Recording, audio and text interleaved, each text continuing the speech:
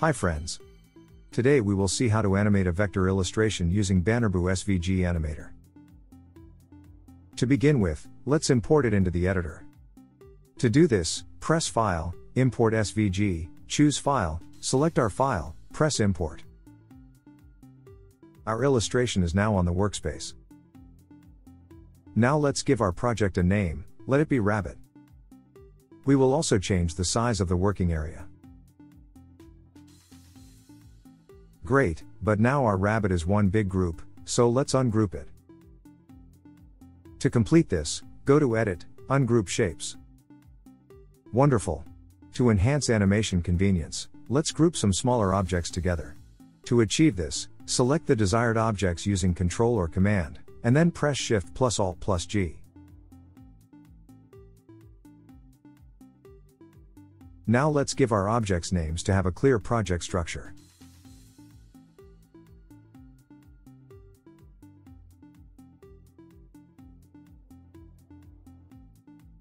For animation, we select the object we need on the workspace, timeline or on the layers panel. We click on the red control icon and add a keyframe to the parameter we need. In this case, it is the left parameter. As you can see, our keyframe has appeared on the timeline. For convenience, we will add initial keyframes to several objects at once. This will speed up the process of creating animation, as we do not need to move the cursor once more when changing the position of objects. Cool. Now let's add some smoothness to our animation using easing. To do this, select the desired object and double-click on the keyframe. Within the easing parameter window, select the desired parameter according to your preference. In this case, it is quadratic in out, we also add easing to the existing keyframes. Now let's copy the keyframes to continue our animation. Copying occurs using standard combinations, Ctrl or Command plus C and Ctrl or Command plus V.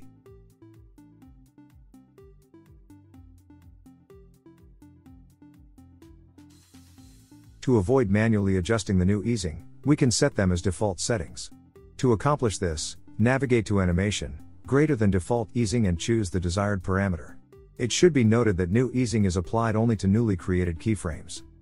Now let's add animation to other objects in the same way.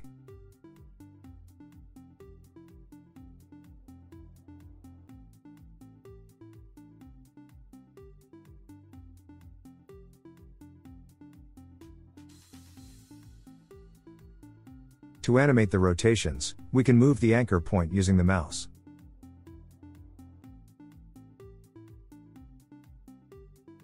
Adding a rotation animation using visual controls on the workspace only changes the angle parameter to a positive value.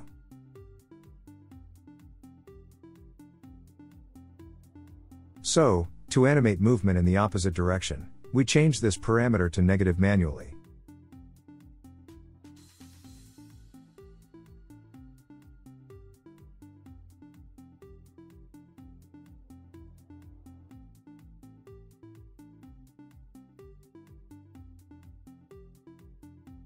To animate a path or create a morph effect, add a keyframe to the path parameter.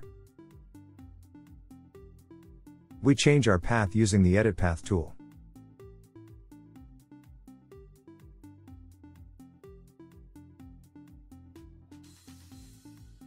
Great. Save the project by clicking the Save button. And export by clicking File, Export SVG. With the name already determined, it's time to select the type of CSS animation. Choose infinity for repeat and choose aspect ratio in the center, X mid Y mid. Now click download SVG file.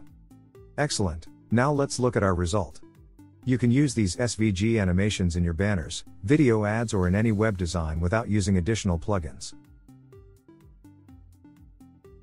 Thank you for watching. Don't forget to subscribe to our channel. Have a nice day and see you in the next videos.